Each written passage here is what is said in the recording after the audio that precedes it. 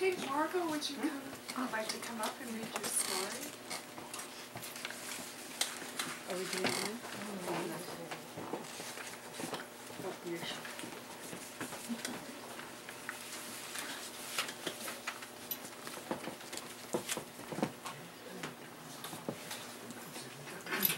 And now on the serious side, Candace, I love your poetry and you, you're fabulous cool. Oh, my goodness. This is called Howard and Louie. Howard and Louie roam their in roam their pastoral pastoral acreage against a backdrop of big sky and mountains. There is a small field where they run and play. Howie is bigger and more aggressive than Louie, and often bullies uh, bullies him at the feeding trough. They are both friendly, Louie a little more so. No matter how many buckets of food or vegetables and grains they receive, it all goes in the feeding frenzy. Brad, the businessman turned farmer, changes into denim overalls and rubber boots when he comes home from work.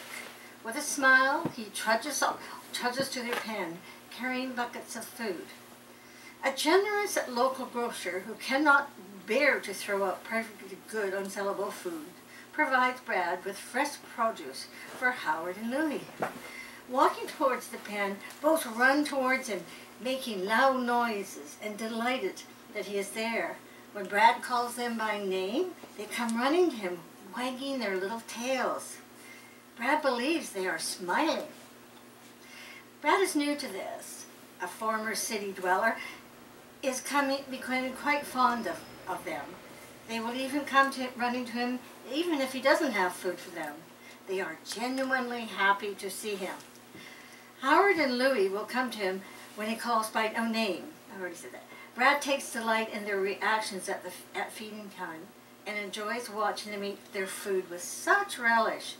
He makes his daily runs to the grocer and brings back buckets of assorted fruits and vegetables. One day he has fresh pineapple for them. As he empties a pail filled with pineapples over the fence, he, he shouts, here's your pina colada, boys.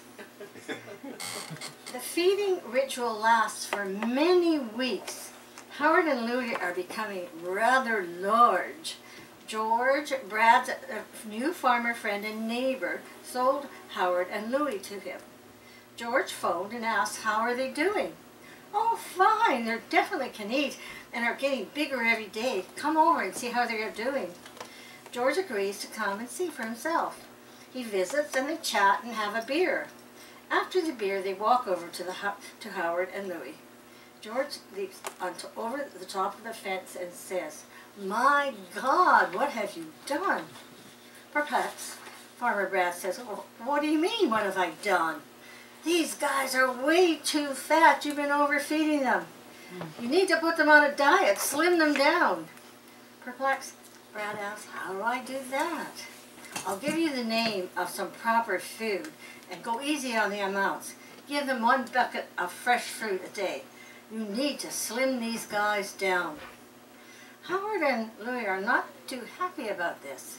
Gone was the friendly, friendly, lovable greeting uh, when they got their food. They were really pissed off at, and ignored Brad when he came around.